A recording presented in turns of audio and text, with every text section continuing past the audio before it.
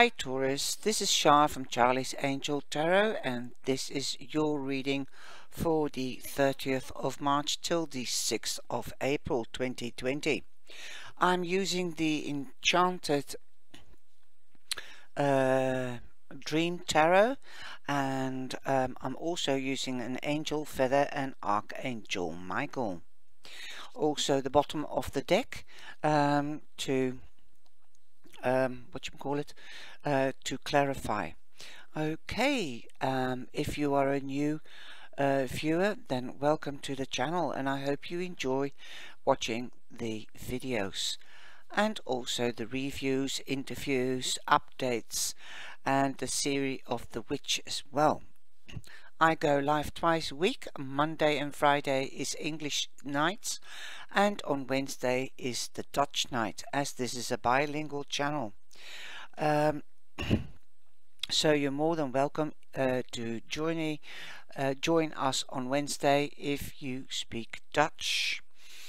Okay, if you like to get an extended reading, then please uh, look underneath the video in the description box and there you can find all the information. Also, you can find the information on the website and you can see different readings on, on that are on offer. Just click on this little white dot. Please subscribe and hit the bell, then you'll be notified when new videos are uploaded. There's a lot of new things happening and it's great. It's all exciting and I hope you enjoy them just as much as I've enjoyed making them. And welcome to my Cyber Angels and thank you very much for your support and for your sharing and liking. I do appreciate it very much. It's really awesome. So let's get started Taurus. Remember, when I go live, there's also super chats available. And when I do a super chat or a super sticker, then you get three cards and an oracle card to answer your specific questions. So let's get started. Your first card, um, uh, Taurus, is the Seven of Cups. And that, for me, means dreams, wishes, goals. They can happen, but you must make a priority list. Because if you uh, make your priority list your pros and cons then you can take a choice of which dream or wish or goal will come out first. Perhaps it's love perhaps it's work perhaps it's a home perhaps it's children who knows and this will motivate you to take on the next wish or the next goal. So, let your dreams come true by taking action. Then you have the Queen of Pentacles, and the Queen of Pentacles is Mother Earth, and she also represents the um,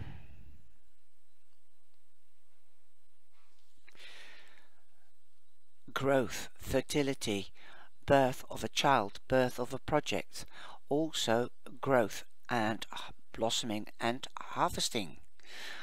This could also be a Virgo. This could be a Capricorn. This could be a Taurus. She also represents the Hermit, and the Hermit represents Virgo. So that is the prominent uh, uh, figure, the Hermit and Virgo. But don't exclude any other uh, earthly element people like Capricorn and Taurus. So what does this mean? Like I said, take action, make your priority list. So make a visionary board once you've decided which dream you would like to come true or goal or uh, wish. Then uh, like the uh, the Queen of Pentacles, Mother Earth, um, you have put it into motion. Now you've planted the seeds, but it will take time before it will can blossom and harvest. You might find out you're pregnant. You might find out uh, that somebody else is giving birth. So if you are a mature lady, then you might be becoming a grandmother. For the middle of the week, we have the Two of Cups, and that means that you might be em emotionally imbalanced or you might be highly sensitive and also very psychic or intuitive. You might actually meet also your soulmate. This could be in love or this could be uh, in business. It could be that you are meeting a person that is more or less the same as you, that understands things like you do, and you don't have to finish each other's sentences because you feel the same. As water is emotions. Then you have the Eight of Pentacles. The Eight of Pentacles means you have recognition, perhaps from a soulmate, like I said, and they will become uh, or are your best friend for life. You might uh, start a new study, but you definitely have recognition for your hard work. On Friday, Taurus, you have the Fool, and the Fool means that it advises you take that leap of faith. That leap of faith means a new beginning. You might not know everything. You might take that leap of faith to start this new study. You might take that leap of faith because you might get a promotion because of your recognition. So don't worry, okay? And what have you got underneath it? You've put your dreams into action, and like I said, it takes time to grow before it can blossom. Well, you've got the star and the star means that your dream or your wish is coming true. Boom, like a blast in the sky. And it just looks like the star is a blast in the sky. It's beautiful. Something will explode into being on Friday. Perhaps this new beginning. Okay, so it's confirming that the new beginning is there. You've been through tough times and you've got the Nine of Wands. The end is here, okay? It's saying that you've come, come full circle. That there is an ending because nine is an ending and it's been pretty heavy. Don't give up now. It is a transformational period. I know we are living in difficult times, so take your rest before you can actually start this new study or new job it will bring in money because you've got the ace of pentacles. So that is for durability and long term whatever you are wishing for whether it's a relationship or whether it's a job or whether it's a business it's going to start off this week and like I said, it could be with a Virgo or any other earthly sign, Capricorn or Taurus. And it will be a relationship steady and slowly and steady, but it will last for a very long, long time. And like I said, it might be a best friend for life. Uh, sorry, best friend for life. The Two of Cups. Awesome. And the overall energy is the Queen of Swords. The Queen of Swords is somebody that can speak clearly, is straight and honest, serious, but also funny. She's got a sense of humor and she's quirky and she's quite independent. Okay, now what I have to say with this is also she stands for justice. She'll cut straight through to the core. She uh, doesn't like BS. She doesn't tolerate fools lightly, okay? So uh, you might be meeting an air sign and the Queen of Swords is also the star and the star I forgot is Aquarius another air sign so this doesn't have to be a Gemini or um, a Libra, as the Queen of Swords is Aquarius. So there might be a predominant figure, Aquarius. you might have the energy, the overall energy of getting wisdom, like the Queen, knowledge, learning. Um, she's always eager to learn, as she stands for wisdom, communication, um, and also justice and honesty and clarity. Okay. um, I'm getting an extra message here as well. The, like I said, emotions might run high, but it is in a positive sense. Uh, talk to each other, even if you know what the other is thinking, and that is your link to them. Okay, it could be um, we've got an, an uh, uh, it could be a Virgo, it could be an earth sign, or uh, an air sign, because those are the two character cards in this deck. If you think, oh no, uh, this is the air signs are too quick for me, too uh, exciting, too unpredictable, because they are swift. Okay, take your time. Let them know what your boundaries are and find out what their boundaries are. Uh, because you're Taurus, uh, uh, Taurus, you are steady and slow. You do everything in your own tempo, okay? You've learned that, and it's good because you know it takes time to grow before you can harvest. So you've planted the seeds and something is coming to fruition. Boom, and it's going to be long, long standing and with durability and for long term. You've been through the hard times, so you know what not to do.